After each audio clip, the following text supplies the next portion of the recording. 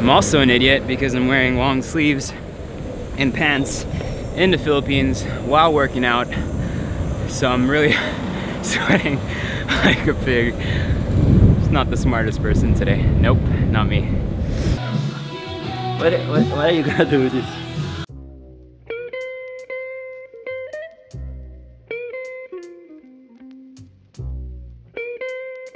Good morning folks. So today is gonna be a quick one. Just quickly heading to the gym. We're talking about fitness food because you guys had a lot of questions about that, so it's gonna be quite simple and quite fast. And we're back with No, no, no. the Archangel of Death. Oh, bro, Archangel, that's me. Arch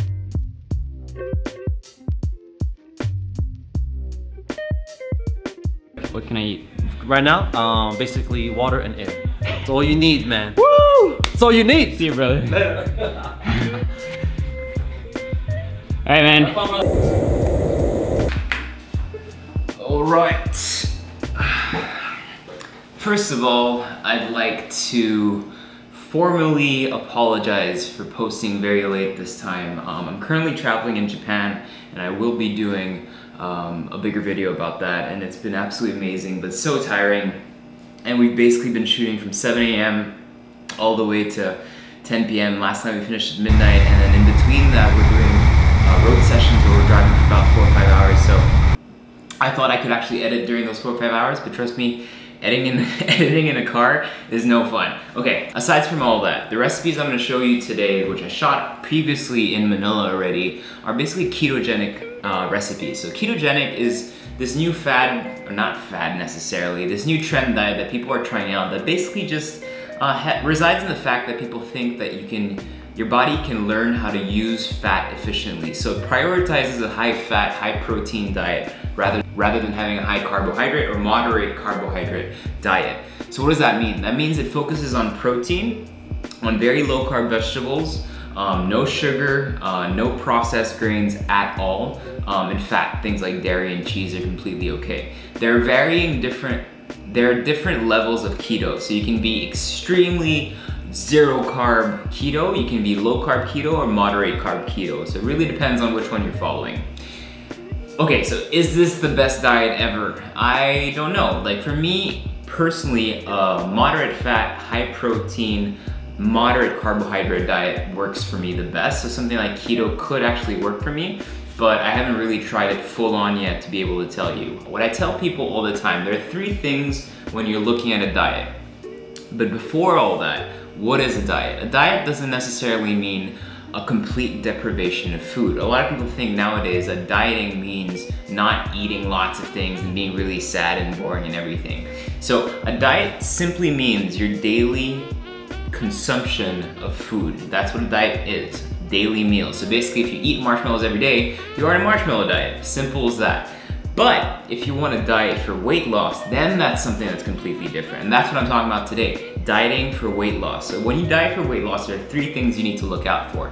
Number one, not all diets affect people in the same way. Obviously, we're all different in terms of our composition, how we process ingredients and everything. So a diet that works for me for weight loss won't necessarily work for you for weight loss. So what I always tell people is to experiment, try it out, give it at least two to three weeks really strict. Like really stick to it, no cheating, uh, no airing this side or that side, really just following the guidelines strictly as possible and you'll figure out whether or not something works for you. So after three weeks, you'll be able to see the results or not and then decide if you wanna move on or try something else. The second thing I always tell people to look out for is portioning. In general, we've come to a point in our lives where we're eating too much, just with everything. Social media, internet, TV, food. We overconsume things. It's a very consumerist um, generation that we're in right now because everything's accessible, everything's become a commodity. Whereas if you look at maybe 50, 60 years back, I wasn't alive. Just want to make that clear. I wasn't alive yet, but if you look back through those generations, if I talk to my father about when he was a kid and when he was growing up eating, they never had an abundance of food. They didn't have mountains of snacks to choose from. They didn't go to the supermarket and have aisles just filled with colorful little packagings and every flavor imaginable to God and little shops and franchises and restaurants. We're at a time where food is so accessible and that's why we're having problems with the environment. That's why we're having problems with obesity. That's why we're having problems with diabetes is because there's just so much food and people are consuming it too much. You will be amazed by how resilient your body actually is. If you're someone who wants to lose weight, the first thing I always tell people is look at your daily portioning of meals and cut that in half. Most your stomach will actually get smaller. So if you start eating less and less and less, yes, it might be painful, not painful, not really painful. It might be, you might feel like you're depriving yourself for the first couple of days, but then after a while, you'll see your, your stomach will actually get smaller and you'll get full faster and you won't look for that much food. So portioning is so important. The ones who eat a lot, usually they're people who work out a ton as well. You always have to look at, you know, level of activity. If you're someone that has really high activity, like when I go to see the farmers in the Philippines and the provinces, these guys are eating six cups of rice a day. Go for it, no problem. They're ripped, they have six packs. You know why? It's because they're eating those six packs a day, but when you see what they eat it with, it's actually not much. It's really just the rice, maybe a little bit of ulam, a little bit of vegetables, a little bit of meat, but just really not that much. And they're out in the fields all day walking, working under the hard sun. So they're spending so many calories. So look at your level of activity. If you're not someone who spends that much calories outside, then maybe you shouldn't be intaking that much. And the third most important thing has to do with processed ingredients. If you're someone who wants to lose weight really seriously, then starting from now, ground zero, you will only eat things that are natural. What does that mean? Everything seems natural, right? Sugar is pretty much natural. Yes, but it's highly processed. It's something that has to go through many processes for it to be able to go from raw form to your mouth form. That makes no sense. But basically, before you can eat it, you actually have to process it quite a bit. Same with white rice. It has to be polished, it has to be dehusked, and so many things have to happen to it before you can actually eat it. You have to cook it. Cooking it is a process. So what I tell people as much as possible when talking about processed food is you wanna eat things that you can grab from a tree, grab from the soil. Obviously, you're in a supermarket, you're buying it from there, but go with me, you know what I mean, right? So it's as fresh as possible. All you have to do is chop it. If you can eat it raw, great. If you have to cook it a little bit, fine as well. And things like meat, fruits, all those things apply there because basically all you have to do is you take a raw form of an ingredient, a cow needs to be killed, butchered, and then put it in your plate. But there's not much processes involved. Look at cereal. Something like cereal is basically like wheat all over in a big field. Then that has to be cut down. Then that has to be processed, milled, dried, etc., etc. Added flavors, added sugars, added stabilizers. That becomes a highly processed food. So when I say eat natural, I only say that because it's simple. You want something you can just grab, cut, eat. You don't want something that you have to think about what's inside and etc. So to simplify your life, those three things, just follow those guidelines and it will take you a really long way. So number one, make sure that the diet you're doing is good for you for weight loss. Number two, make sure, number, what was number two? Number two, okay now I remember, God that took a while. Number two, always make sure your portions are appropriate to your level of expenditure and in the same time defined by your goals. So if you really wanna lose weight quickly, then your portions will get smaller, simple as that. And then finally, number three, is eat natural. All those three things together, you should be on your right track. So, I'm gonna show you a couple of ketogenic breakfast recipes just because I know a lot of people have been asking for them. And usually when you ask, when you like this video, when you subscribe to the channel and you comment below, I read the comments, I reply to most of them in the first couple of hours. So make sure to hit that bell as well to get the notifications so that we can have a chat and conversation on it. And whatever you guys usually comment in terms of what recipes you wanna see, I read them and then I make them happen. So, Let's start with some ketogenic pancakes. Okay, making these pancakes might seem a little different simply because they're much denser. You know, you have protein, you have some flax, you have some chia seeds, all things that are very thick. You're not adding things like baking powder and stuff that will usually fluff up the texture in the dough that you're putting. Though, you know, this is a blank canvas. You can add exactly what you want inside. It really depends up to you. I'm giving you the base recipe to which you can add on anything you want to after. So it'll come up a little dense, but if you want to add things like almond flour, more coconut flour, or eventually some baking soda or baking powder, try to fluff it up. Play around with those ratios, see something you like. I, I for one, like things that are quite simple and then I just top it up with stuff. If you want to eat them alone, go for it. If you want to eat them with honey, that's up to you as well. It's all good.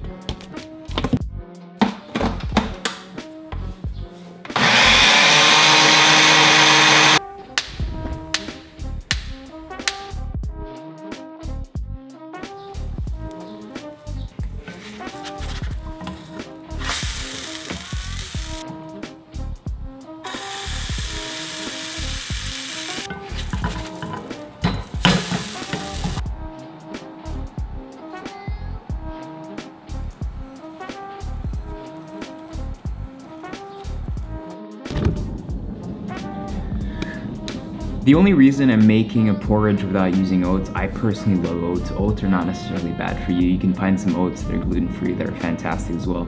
Usually what you want to look out for in um, instant oat packages or oat packages is added sugar in the ingredients, but you can really kind of see that right away quickly on the labels. So just take your time reading the labels in the supermarket. But why I'm not putting oats in this particular recipe, but you can actually add oats, is just simply, I just wanna give you a base ingredient that you can actually make these porridge, that you can actually make this porridge using two ingredients, the chia seeds and the flax seed, and that should be enough to bind the whole dish. Now, if you wanna add things to it, that's completely up to you. This is something, this recipe is particularly made for people who are purely ketogenic and are trying to go with zero to no carbs at all, except for the bananas that I'm adding to it, obviously. But if you're someone that's okay with low carb, or if you're working out and you wanna add carbs to your diet, go ahead, add in a I'm gonna have this problem like so many times. Go ahead, add in one third cup of oats. I can't believe this is happening again. One third cups of oats, and I'm sorry for wasting your energy. Okay, I'll leave you alone. Bye.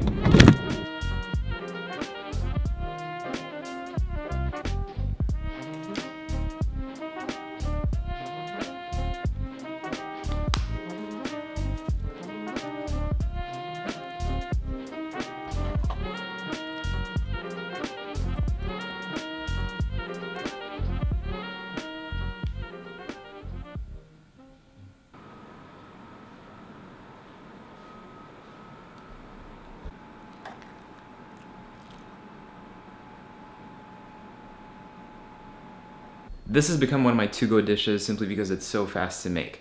The one important thing I just want to remind you guys to do and make sure to do is just really run that blender for a long, long time. Usually what happens is you'll see it stop moving for a while, and when it stops moving, then you know that the grain has become really kind of nice and small. And why we want to get it to that point, so it's much faster to quick. So basically, all the ingredients and the fragrance that you're putting beforehand will be cooked out already. So you don't want to add your cauliflower and then overcook everything. So basically, I'm making sure that this is really small. You add it when everything's done. Your cauliflower takes two minutes. It comes together absolutely perfectly, and that's what you want.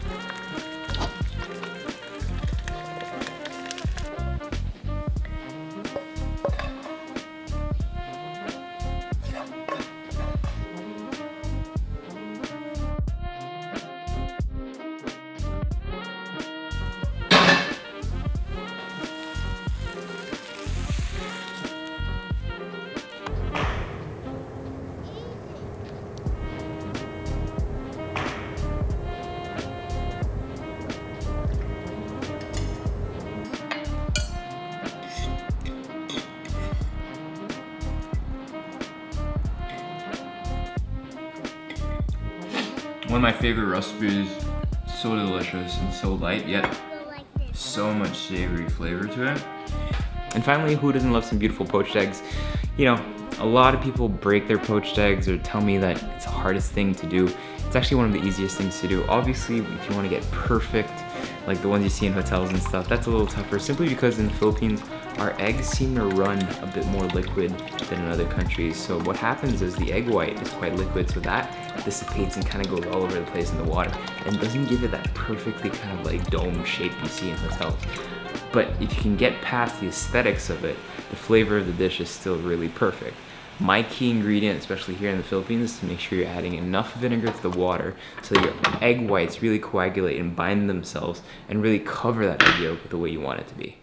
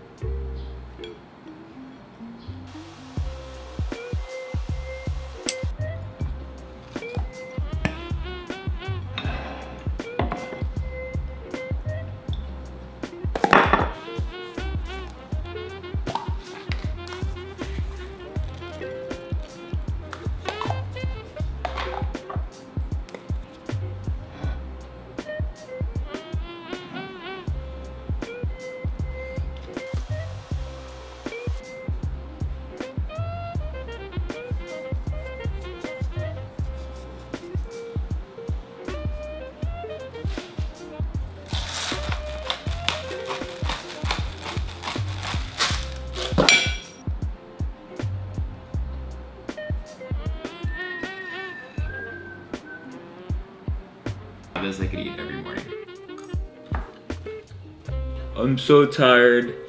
I literally just finished editing this video. I'm so sorry that it's so long again, but at least you're getting about four recipes for the buck of one video. So even though it's long, it's four recipes.